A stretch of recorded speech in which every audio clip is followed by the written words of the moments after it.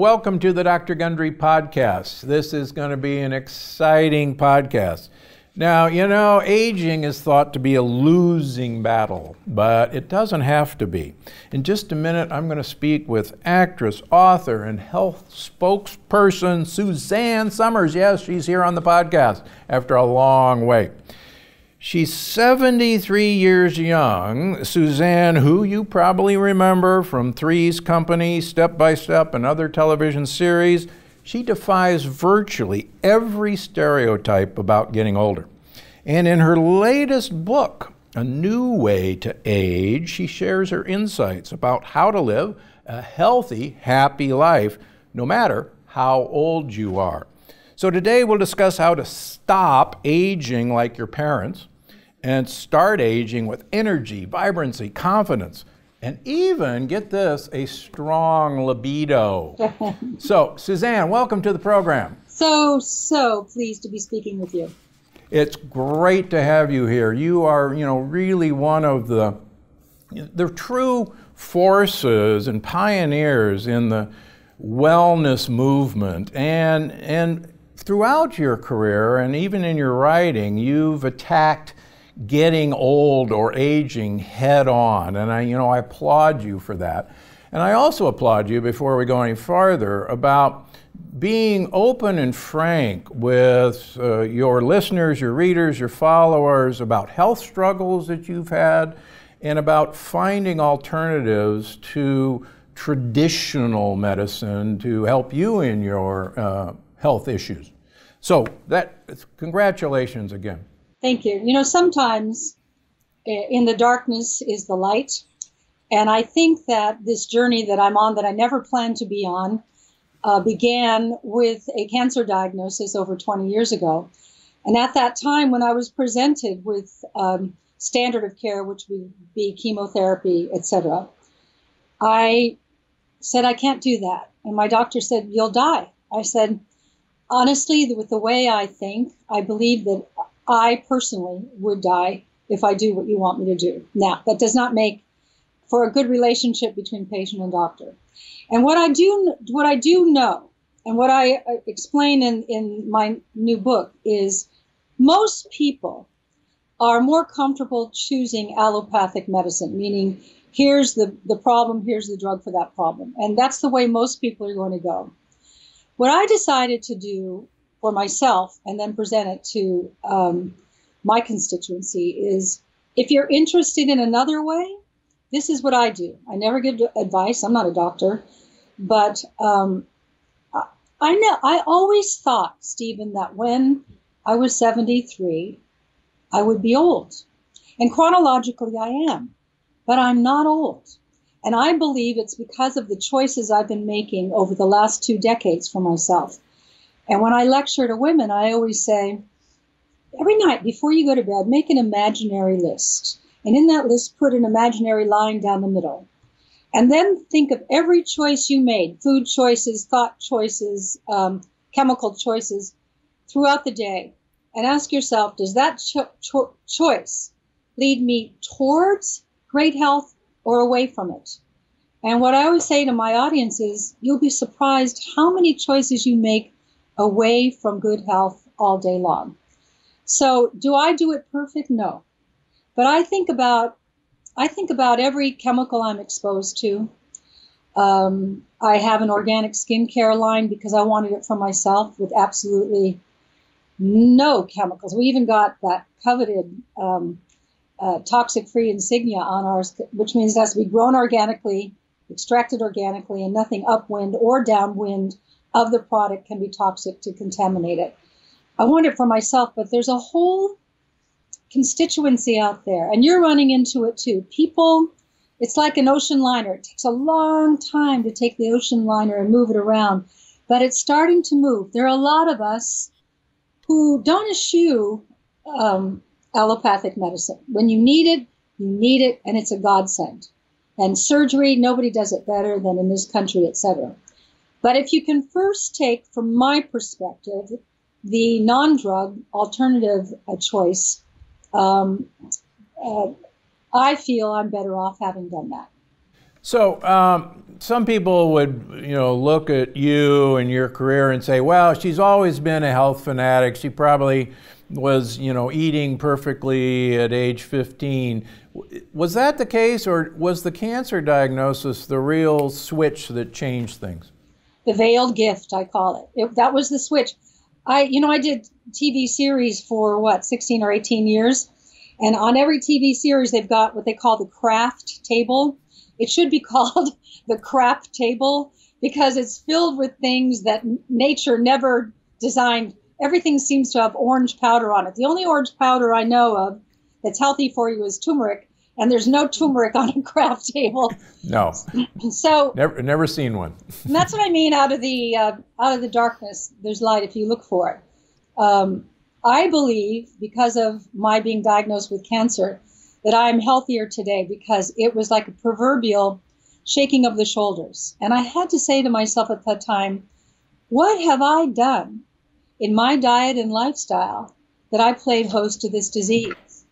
And I started looking at the realities of my life. It wasn't that I ate bad, I just didn't eat well. I didn't think about the food that I was eating. I didn't think about sleep you know, I just had started writing books at that time, and I always felt if I could stay up all night and write, and then the phone doesn't ring and nobody bothers me, I was missing. You know, sleep is a game changer. I'm sure you agree. Yeah. So, so um, I, I, t- I just took charge of. I decided to eat as though my life depends upon it, and I eat great. I eat a high fat, high vegetable, high protein diet. Um, I, uh, I mean, if you can eat good quality fats. You can have chicken piccata with lemon butter caper sauce, and there's a lot of great food that you can eat. So it's not like I eat boring food. I eat amazing food, and I grow my own food, and um, that's nurturing and thrilling. And a cauliflower tastes so different when you cut it from the garden and you bring it right to the kitchen you eat it raw on the way up, and then you get up there and lightly steam it. And I like to put garlic and olive oil and parsley and and a little butter over it, and just sort of scoop up the uh, art of the cauliflower. So, I I really look at cancer as a veiled gift, and it it woke me up, and um, I love I love the following that I have. These are all people, men and women, who want quality of life. We want to live this long, extended life that we're all afforded now. Like it or not, we're all going to live longer. Um, but who wants to live this long life without quality? And my quality comes from bioidentical hormones. I've been on replacement for 20 years. And um, good food choices. I have love in my life, which I think is a big factor. I love my family. I I do a little exercise every morning, which I so believe I've been doing it for about 15 years, knowing that we are approximately 40 trillion cells, you and I, some very anal retentive person counted, I guess. and I know that that's our communication system, right? That all right. all the cells talk to one another. So every morning, without the first thing I do when I wake up is I isolate one cell and I say to that one cell, I love my life. I love my husband. I love my family. I love the food I get to eat. I love that I live in America. I love my work. And then I add any more gratitudes that I have for that day. And then I release that cell. And in my mind's eye, I know that little guy's got to go tell 40 trillion other cells, okay, guess what? We love our life. We love our, the food we get to eat. We love living in America. We love our husband. And there's a, it takes a nanosecond and I feel this happiness and conversely, if I woke every morning and say, ah, I don't like my marriage and my work sucks and I hate living in this country and all the negatives, guess what? The little guy's got to go tell everybody. So that taught me that we are actually in control of our happiness or unhappiness. We choose it. And I think it's the same way with health. Uh, we are in control of our health by the choices we make, knowing none of us is perfect, especially me but that we do the best we can to make the best choices relative to health every day. So that, that's a great point. Uh, so what do you think is the biggest misconception about aging? You know, now that now that you're 73, um, is it exactly what you're talking about, or is getting old inevitable? Chronological aging is inevitable. I mean, and you can't lie about your age anymore. There's Google. Women used to lie about their age all the time, but I actually celebrate my age every year when my birthday comes. I think it's actually better for my brand. What I'm loving is um, trying to be aspirational for women, that it's not about facelifts. I mean, if you see me in person, I don't have a lot of wrinkles, but I'm certainly, you know, I, my neck and things like that. I leave it because I feel that it would be dishonest in the message that I'm putting out, that if I started lifting everything up. But what I find through hormones and then like in this book, um, I, I interviewed Dr. Thierry Hertoghe of Belgium. He's quite renowned in Europe. He's who he's a third generation endocrinologist. He is the one who uh, made thyroid legal in uh, Europe, and he's very forward thinking. So I have been injecting human growth hormone for um, probably 15 years, which is an anti-aging hormone. Uh, everybody's so afraid of human growth hormone, but when you and I were both young and making a full complement of hormones, guess what? We are also making human growth hormone. And so that keeps my muscles from deteriorating. And he then said to me in that same shot, put IGF 1 for elasticity, which is what you get from a compound in pharmacy, and also put alpha thymosin 1, which builds up your immune system in the same shot. So a lot of people are afraid of shots. I'm not. I don't even feel it. it's a little teeny needle. But I've noticed since I was doing that, less wrinkling, and in the in a natural way. Uh, that uh, it's not that kind of super smooth skin that that that looks false. It's um, it's it's it's a reverse aging. There's just so many new things happening. So it sounds like I'm afraid of getting old. I'm not. I want because I I really am just I have I'm in love with my husband. I I met him when I was 20, and um, I feel if there's anything to we knew one another in other lives. I, I just knew the day I met him. I was in therapy at the time, and I said to my therapist, "I met who I'm going to marry today." He doesn't know it, but um, this I want to live a long time with him. So he he does everything I tell him. Like if I hand him a handful of supplements. I go, take these. He just takes them. Because I think for 83, he looks amazing. And he's got energy and juice. And when we're around his contemporaries, they're all starting to be hunched over and bad hips and bad knees and and um, they don't have the zest and the life and the sharpness. His brain is is like that. Well, it, it, it has to be the, the, the fish oil and the testosterone, which I give him his shot every Tuesday. and by the way, in this book, Dr. Abraham Morgentaler, I'm sure you know who he is. He's on the faculty at Harvard, and um, he conducted a study. And he called me for another book of several years ago. He said, I've, I've got something interesting. He said, I just, at that time, it was a two year study. Now it's like a, a seven year study. That men would come to me with elevated PSAs or prostate cancer. And and he backed up all this science in this book. So it's not me saying this. This is Dr. Morgentaler. He said, I found with each man that when I gave them testosterone, their PSA levels went down, their prostates uh, would shrink. I said, How does that work? He said, Well, I love this analogy. He said, The prostate is like a woman's breasts. And in a woman's breast, we have ducts where we make milk. He said, but in a man's prostate, in the ducts is where testosterone makes food for the sperm. So when a man is making a full complement of testosterone, the prostate's nice and tight and small. But as he declines in testosterone, the prostate starts to enlarge, looking for its major building block, according to Dr. Morgentaler. And as a layperson, I got that, that visual. I went, well, doesn't that make sense?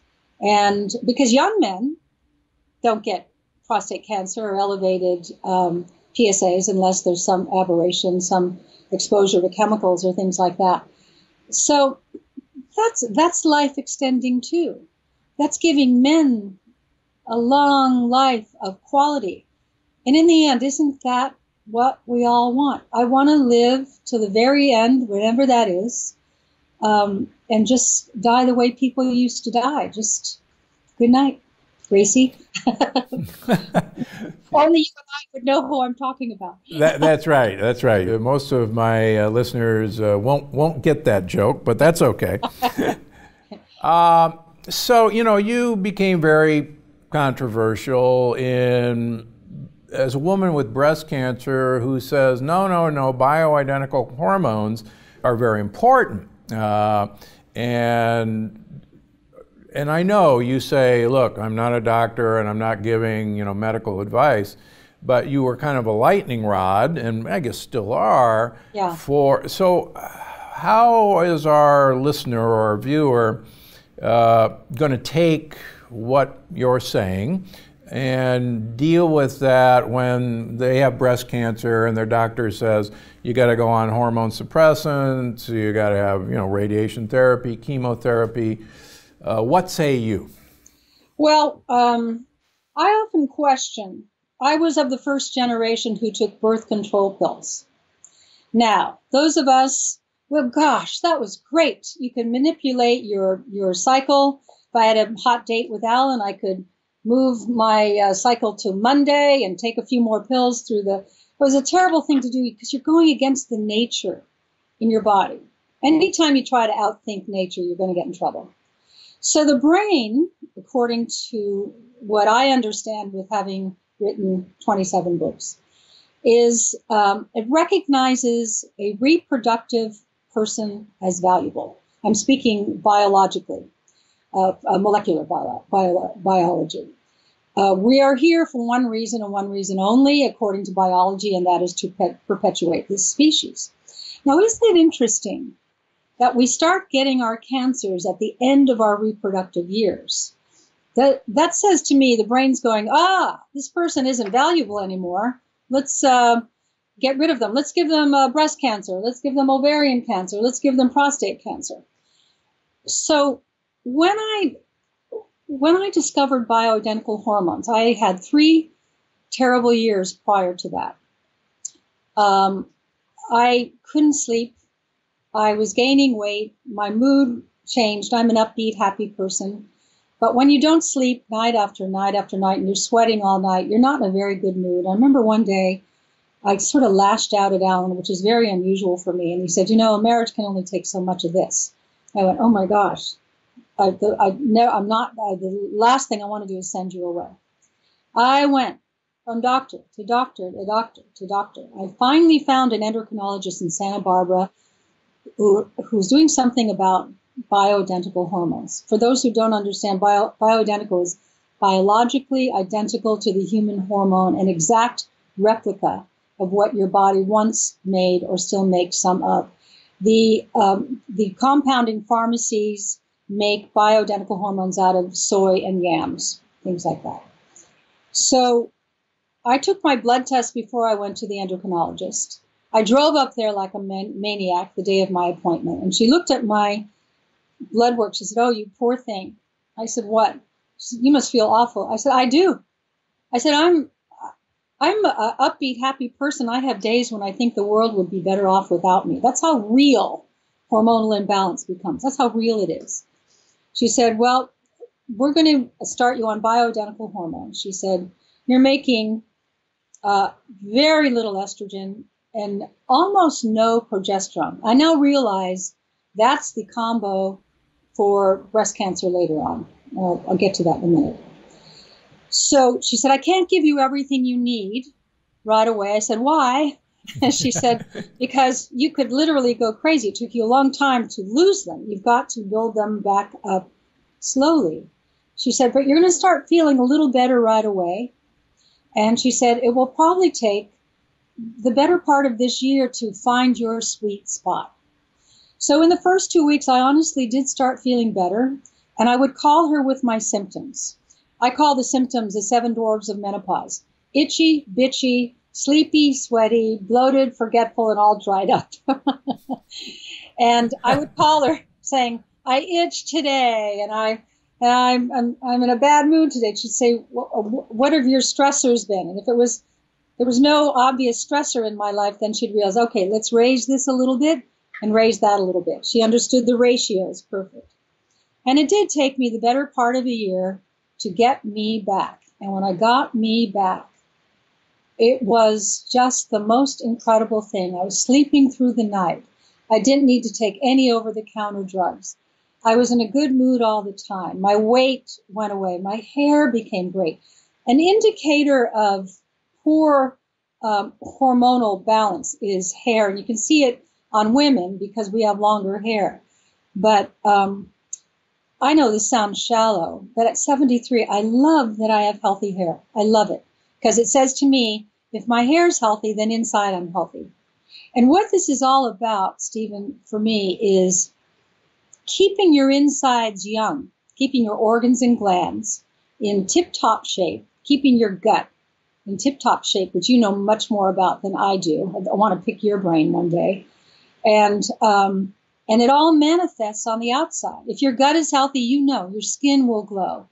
If your organs and, and glands are operating at max, your, your body won't wrinkle so much. You'll just have more enthusiasm and zest. And it's such an incredible way to live, and you have to give up so little. You have to give up chemicals uh, as best you can control by what you put on your skin. You know, with skincare, when when you look at your arm under a microscope, what our pores look like big holes.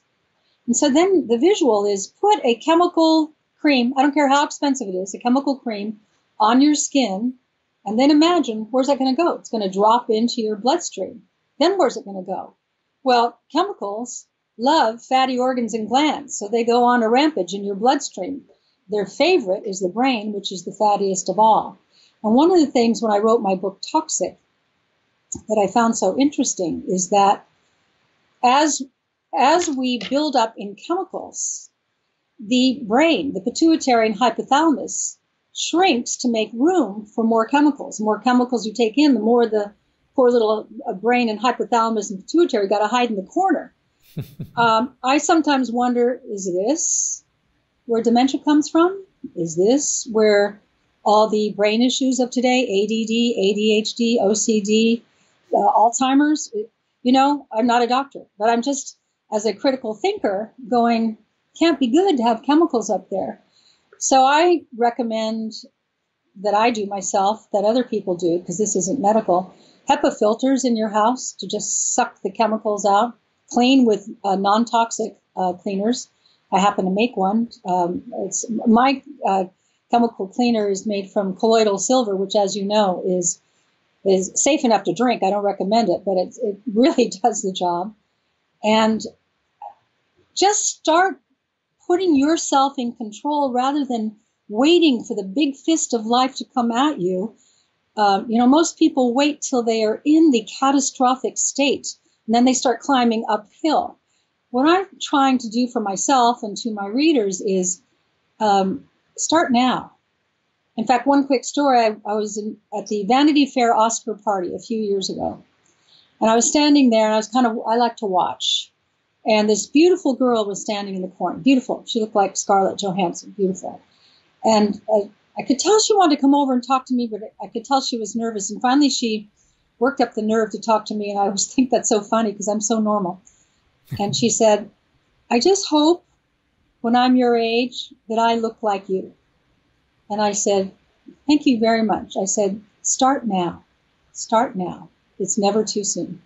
Yeah, I think it's a that's a great point, you know, and that's it's actually why uh, I wrote my book, The Plant Paradox Family Cookbook, because one of the things that I'm I now have two young grandchildren, and I I realized that the, you know, the sooner my daughter and her husband started feeding those kids right, the better chance they had of getting, you know, exactly where you and I want to be and with good lifelong health.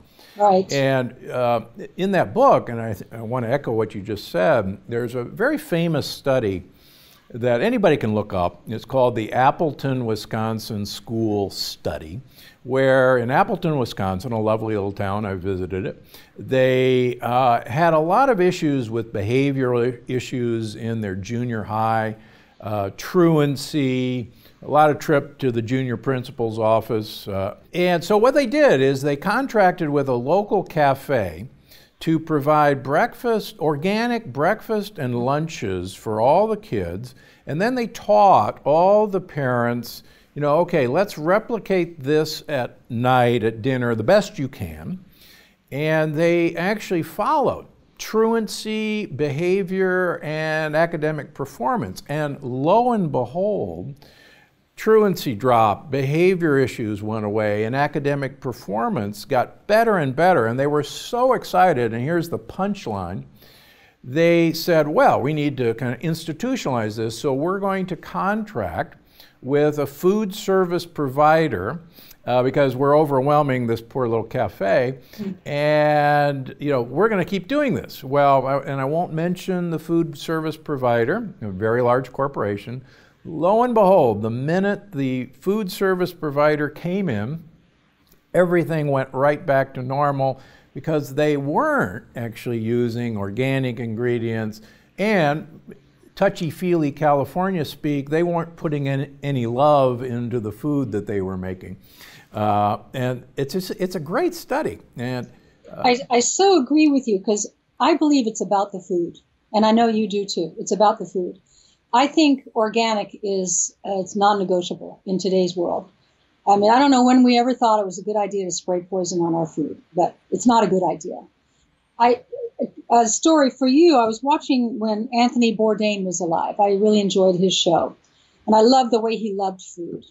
And he went to um, there's a very famous chef in France, and I can't remember if it was Michel Girard or was one of those famous chef names. And so they went from Paris to the little village where the chef was from. And when they got to the village, they went to the school that the chef went to. And in the school cafeteria were the women making lunch. And, and the kids ate off of dishes that were made of real, you know, glass, you know, not, not real plastic, stuff. real stuff. And they made a great vegetable soup. And all the kids finished all their soup. And then they made this great chicken with sauce that you and I would love with all the pan juices and everything and, and the uh, potatoes and the vegetables and the kids. Every plate was empty because they were feeding those kids good quality, homegrown, a real food. I always say if you can pick it, pluck it, milk it, or shoot it, you can eat it uh, as long as it's been uh, grass fed and, and not sprayed with poison. So I think you and I are on a very similar path in that food is all important today, and that's one of the big choices we make every day. I, I would have a very hard time eating processed food today, knowing all that I know about what it does. So, what do you what do you say to your listeners and my listeners that well, you, uh, I don't live in Palm Springs or Malibu or Montecito, and I don't have an organic garden, and it snows half of the year. Uh, yeah, that sounds great, Suzanne, but that's not my life. How do people do this um, in the Midwest, for instance, where I'm from? Yeah, I usually get the it's it's so expensive. It's really not so much more expensive now than it was at one time because more and more grocery stores, there are, I don't know how pervasive Whole Foods is, but I know that there are other chains around the country that, for the people like us who just demand organic food. So let's say it's a little more expensive. What's what's the most important thing in your life is health. So sometimes you you don't get the new pair of shoes. You instead buy high quality. You know, if you're going to eat beef, uh, you know, uh, New Zealand or Australian grass-fed organic beef uh, organic chicken. Um, I love fish, but man, they're sure messing up the um, the oceans. You know, for our fish oil, we got to get little uh, Alaskan pollock way up. You know, it's it's hard to find clean fish anymore, uh, which is really a shame. But that, but we, you know, what can we do? There's nothing you can do about it. Yeah, you know, I, I give a shout out to Walmart. Uh, there's a lot to not like about them, but they've really insisted that their organic food is basically the same price as conventional. All yes. of their produce, and you know, and I congratulate them, and you know, and they have the power to do that. They can tell their suppliers, "Hey, you know, we're not going to pay you unless this is organic." Same thing with same thing with Costco. Yeah, with Costco. Great quality uh, organic at a great price. You can buy in bulk. So I don't know what other chains are doing that, but the fact that there are two major American chains doing that, it's available. It's about how much do you want it? How healthy do you want to be? Yeah, maybe you might have to drive a little further. Maybe it's a, a bit inconvenient, but to feel the way I feel at this age, I when I'm in New York, I'm around a lot of people who are a lot younger than me in their 40s. And a lot of them are a lot older than me in their 40s. Why? If you are, if you're in New York City and you look up anywhere on any one of those high-rise build, buildings, you'll see multiple uh, EMF towers, electromagnetic fields. That is like brain, you know, pulsating through your brain. They have them in the elevators. Um, the the lifestyle there, the lack of sunshine, the lack of of calm, uh, it ages people so much earlier. And so, if that's where you live, that's where you live. But that's where the, your choices are more important than ever of your food and how you keep your apartment, and in terms of, of, of HEPA filters and, and non-toxic cleaning agents. It makes a big difference. My husband is is like the canary in the coal mine. He carries the HLA gene. Those people who carry that gene are more susceptible to chemicals than uh, other people. If he walks into somebody's house who's just sprayed air freshener, he starts getting facial tics and facial spasms. That's how sensitive he is. Sensitive. And when this happens to him, I think he he's going to go down first from the chemicals, but we're all getting hit. We're all getting it. And so um, I had a beautiful perfume made for me by Tom Ford. Can you imagine this beautiful perfume? I can't wear it because Alan is just too allergic to anything. I can wear natural vanilla oils. I put, um, I, I, think the um, the oils are very interesting. And every night before he goes to bed, I put frankincense here. I go just like baby Jesus, put a little frankincense here. Don't have any myrrh, but it was good enough for him. I, I also have to tell you this: I really enjoy taking care of him. He takes care of me in so many other ways, and I take care of him in health, and that's that's great in a relationship when you take care of each other. It's very um, comforting, loving, gives you a lot of peace, a lot of calm. I think that's a good point that I want to come back to. And I want to talk about relationships because you and your husband have now been together for 50 years. Right. right. And as a Hollywood couple, how the heck does a Hollywood couple stay together for 50 years? That is certainly not the norm. Get, come on, give us some secrets here. oh, um, it's true love. You know, uh, it's. I feel like we have what everybody looks for, and we just are lucky enough to find it this time around. And it, it's so meaningful to me. It it means everything to me. So I cherish it and cherish him and take care of him and vice versa. And and I think one of the there are two reasons that we're so happy. He makes me great coffee in the morning. I don't mean mediocre. I mean great. It's organic. He walks it around the bed, so he just hands it to me and he waits for my me to take the first sip and I give him a thumbs up. Sometimes I go, not as great as yesterday because we, we're on a 1 to 10 scale. And the second cup, he walks around the bed also because I don't like it passed across because it's hot and it might spill. Okay, that's how I'm spoiled. Um, three times a week, sometimes four. This is my bad habit. Uh, we meet right here. I'd love you to come over sometime. Uh, Big Al's Bar here at our house. And it started a few years ago. I'd never had a hard liquor drink in my life because I come, I've written several books about being a child of an alcoholic and my alcoholic father. And my husband, I was writing all day and he buzzes my office and he says, You want a date? And I said, Yeah. He said, Meet me at the bar, Big Al's bar. So I go down there and we shared a tequila and uh, listened to music. And pretty soon we were dancing, and it was so lovely that we couldn't wait to do it again. And so, three, four times a week, we do that. Now, I had a residency in Las Vegas two years ago, and I didn't hire a writer. Instead, uh, Alan and I at Big Al's Bar, drinking tequila, wrote the act. and in all my years of performing in Vegas, they were the greatest reviews I've ever gotten. And I thought, because it was absolutely true, no BS. Uh, we cleaned out all the BS sitting at the bar. And um, so, anyway, coffee in the morning, tequila at night. Take care of each other. so, is is there such a thing as a soulmate? He's my soulmate. I never knew if I believed it or not, but but he is. He is. Um, I once I once read one of Shirley MacLaine's books. Didn't everybody at that time?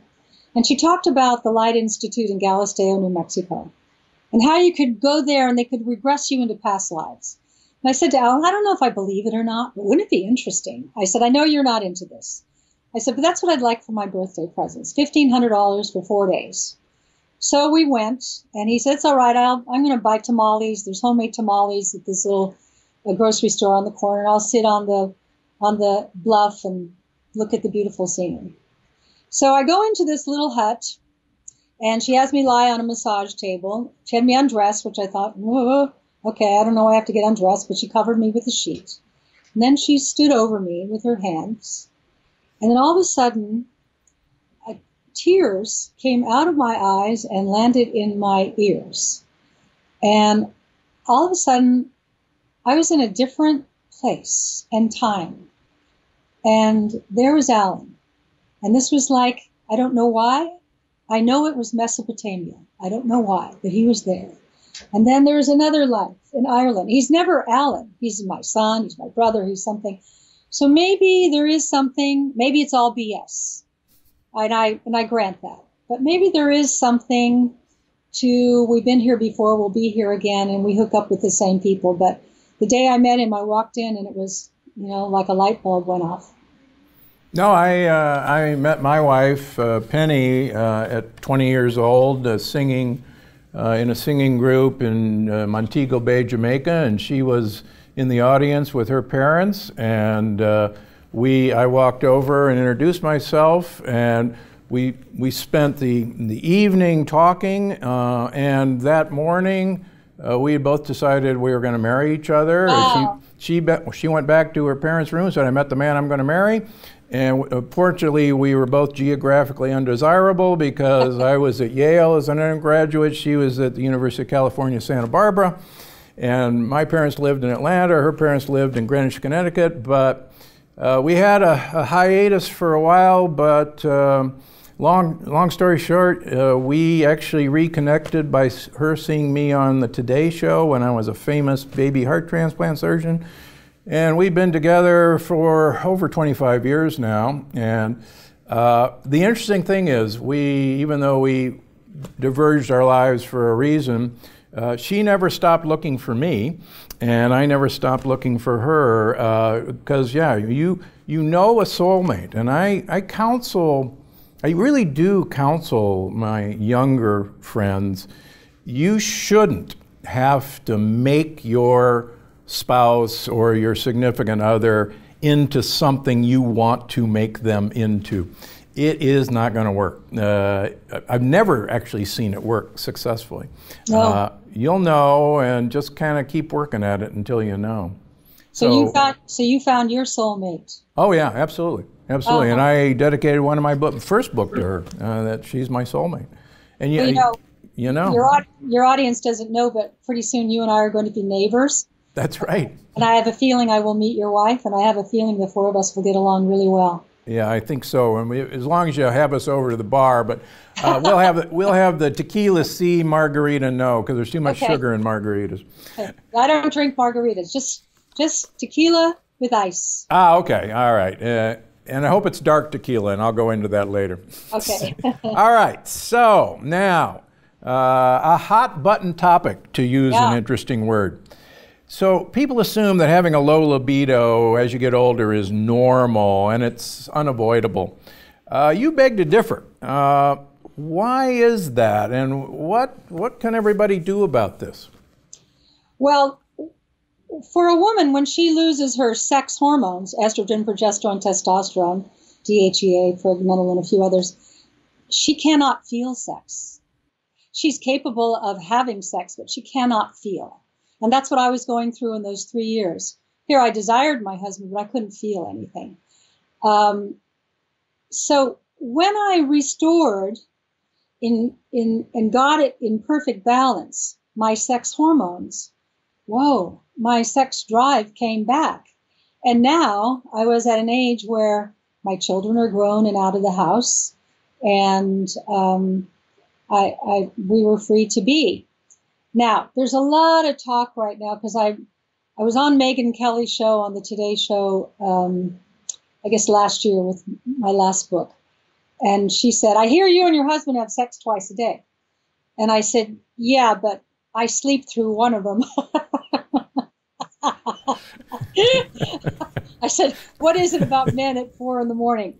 Well, oh my God, then the social media, I got this thing, Suzanne Somers condones marital rape. And I thought, marital rape? Are you kidding? What I was really trying to do and talk about my sex life is not too much information. What I was trying to do is to say, it ain't over. It ain't over. And if you accept that it's over, you've kind of thrown in one towel. And I'm not ready to throw in the towel yet. I I love to get dressed up. We go out for dinner, you know, I have a tequila, and um, I love those evenings. I love to date. I love the whole keeping the romance alive. And here in the desert, you can do that so well because it's conducive to that. So I'm just trying to let women know, not, you know, look at me, look what we're doing pretty much every day. And I know that sounds like a lot, but it's just it's there and he's juiced up on testosterone and um, you know with testosterone also what he loves is he works out with free weights. He's on testosterone and hgh and dhea but he's very developed like really big biceps which you cannot do without testosterone. And hgh helps um, um, building uh, bone and muscle so estrogen and testosterone and uh, antibody the, the they build it's what is it uh, osteoblast and osteoclast? Correct. build and burrow bone and build bone. That's hormonally driven. So old ladies who are constantly breaking hips and and fracturing things it's because of, of hormonal loss. I can look at a woman i just know the state of her health by her hair by her posture. You know the ladies who are old but skinny but they've got a big belly? That's hairline fractures in their spine that eventually that spine collapses, they get shorter, pushes the spine pushes out the abdomen. Right. Pretty soon she's got this big belly that has nothing to do with what she's eaten. So I I pay a lot of attention to my bone structure, to keeping my bones. I take uh, calcium, but always with vitamin K, and I love the the um, the description for vitamin K. It's good for your heart. It's good for your heart because calcium, as you know, wants to go into the soft tissues, the arteries. This is your, you should be saying this. and uh, the K is like a little traffic cop that says, no, no, no, no, let's go back into the bones. And that's why K is good for the heart because it keeps it away from the soft tissues. I, I just find um, health so fascinating, understanding how the body works so fascinating. And what I say to my readers is, you are the contractor. This is your body, your life. No one's going to care as much as you. I don't, I don't care how great your doctor is. It's your life. So you be the contractor. You read, you find out, you learn as much as you can. And then when you go to doctors, you can go in knowledgeable and be able to have a conversation that starts here rather than the doctor having to start at kindergarten. And you'll be so far ahead of the game. And I hear from women all over the world. I, I feel so privileged. I have 25 million books in print around the world, and I hear from all over the place of how this has been life changing for women. And now the men are coming because the men saw that the wives were doing really good. and um, they want some of that too. And uh, this is just as much for men as for women. Uh, it's equal. You have hormones, we have hormones. You have more testosterone than estrogen, and we have more estrogen than testosterone. But it's interesting, you know, when you see old people who have weak voices and um, man boobs on men, that's because as we decline in, in hormones, a man's testosterone, as it keeps dropping, your shoulders drop, your stomach gets bigger, you get kind of grumpy, you get kind of growl, jowly. And look what happened. Your estrogen's now higher than your testosterone. And that's why you speak like with a high voice. And you got the man boobs. Same thing for the women. As she starts to decline, the um, all the itchy bitchy, sleepy, sweaty, bloated, forgetful, and all dried up, that that drops down and pretty soon she's she's got more testosterone than estrogen. And I don't know if Lauren Bacall was just a real estrogen kind of, but she had that deep voice, you know, if you remember. so um, we want to stay a woman and we want to stay a man in the right balance, in the right ratios, and um, have quality of quality of life. Long life is great, but quality to me is the key. Yeah, and I think that's the point that I try to make in all my books. That this is this is the only house I'm ever going to live yeah. in. Yeah. And if we put as much effort into taking care of this house as we do to the home we occupy or our car right. uh, or our outfits, uh, right. imagine what could happen. Uh, and you know, and I thank you again for writing a new book. So. How do people find you as if nobody knew? Uh, where are we going to find this book? Oh, go to Amazon, go to my website. It's, it'll be all over the place. There are two other things in there that I just want to bring up that every book uh, startles me. I never know what I'm going to really.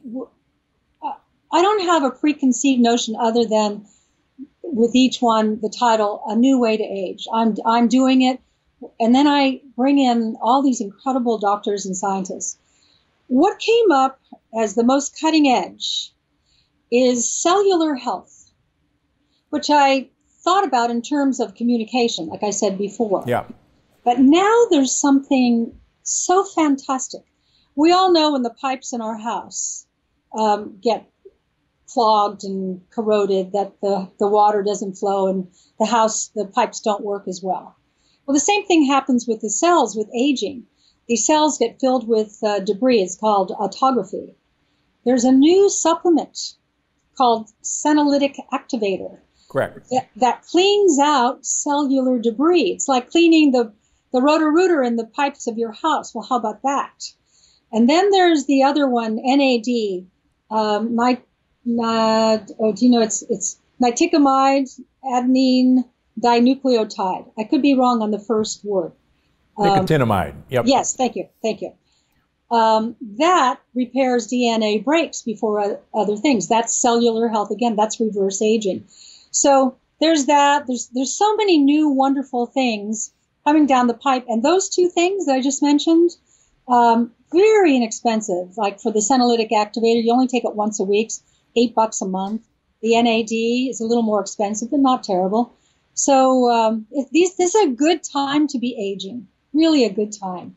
By the way, I just want to say one thing to you of what a what a impact you've made that um, people are talking about your approach to health and food and um, and gut health, and I think that's one of the most important areas right now. Everybody's got something wrong with their gut, so you've done an amazing job, and your career. I follow your career from um, all the facets of your career. It's really incredible. So, congratulations. Well, thanks. I'm just uh, echoing Hippocrates, who said 2,500 years ago, all disease begins in the gut. He's and, right. And he was right. Yeah. All right. So, uh, hopefully, we'll see you uh, walking the dogs in the neighborhood. On the mountain. Yeah. On the mountain. What a pleasure. Thank you so much. Thank you. All right. Take care. Okay, it's time for the audience question. And Laura M. on YouTube asks Is it possible to address varicose veins with the Plant Paradox program? Well, it's interesting. Uh, most varicose veins actually come from losing the valves that are basically locks in a canal that allow blood to get pumped back to our heart from our legs. If you think about it, uh, we don't have a heart down in our feet, which would be a useful thing because blood has to be pumped uphill uh, about four or five feet. Instead, we actually have muscles in our calves and our thighs that when they contract, they actually squeeze on our veins in our legs.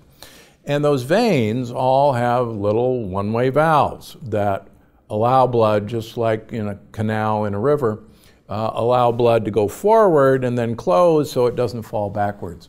And most people who stand for a living, for instance, surgeons get varicose veins, bank tellers get varicose veins, grocery checkout get varicose veins, because number one, you're standing, but you're not exercising your muscles.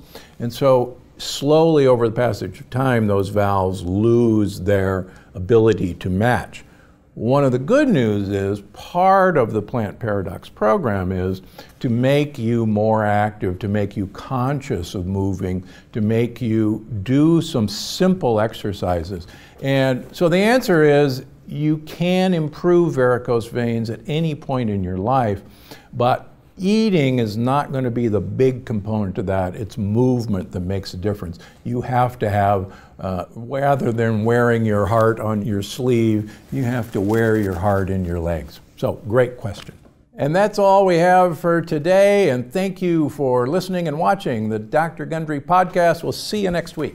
Before you go, I just wanted to remind you that you can find the show on iTunes, Google Play, Stitcher, or wherever you get your podcasts because I'm Dr. Gundry and I'm always looking out for you.